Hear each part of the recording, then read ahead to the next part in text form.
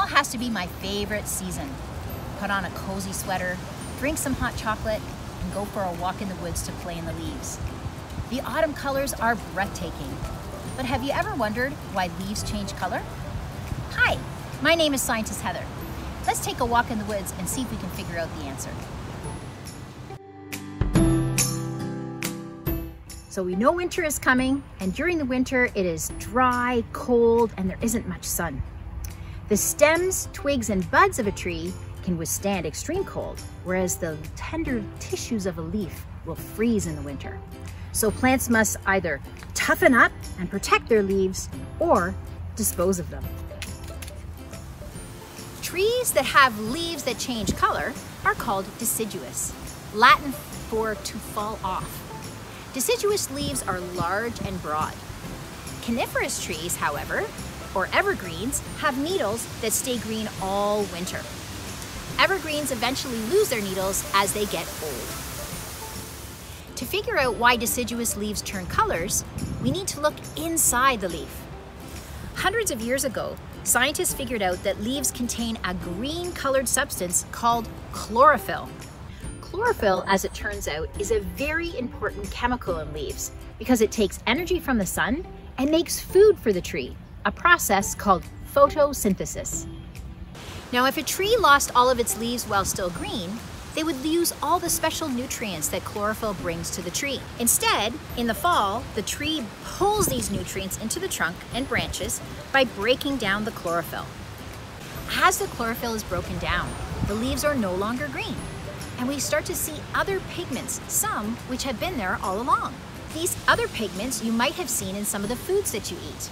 Carotenoids, which are yellow, orange, and brown, are in things like pumpkins, corn, carrots, and sweet potatoes. The vivid reds and purples come from pigments called anthocyanins, like in cherries, pomegranates, apple, and strawberries. Certain colors are specific to certain species of trees. The leaves of an oak tree can be red, brown, or russet. Aspen and tulip trees have a golden yellow hue.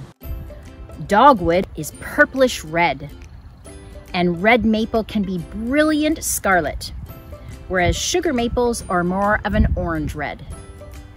One of my favorites is sugar maple. Which one is your favorite? Then of course, the leaves fall. This may be why we call the season fall. Without chlorophyll, the leaves don't really have a job to do.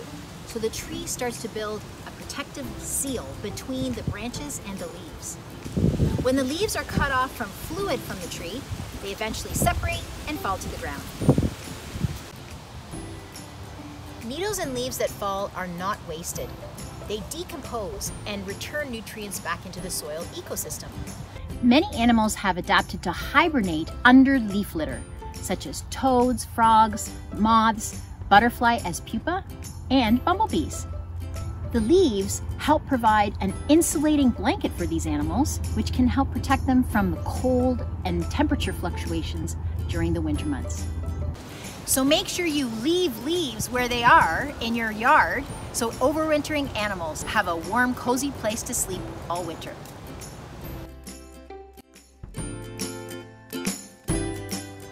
So much for joining me today. And make sure you get outside as much as possible to enjoy the gorgeous colors of autumn. Don't forget to have fun too.